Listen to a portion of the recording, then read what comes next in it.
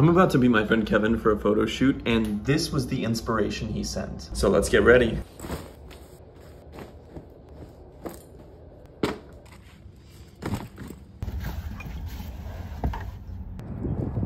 I never quite know what's in store in a photo shoot with Kevin. Luckily, Kevin is more than happy to demonstrate for me.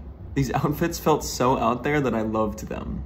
Kevin is legitimately one of the most talented photographers I've ever worked with. And one of the reasons why is he isn't afraid to try weird things. Here's a little preview from the shoot.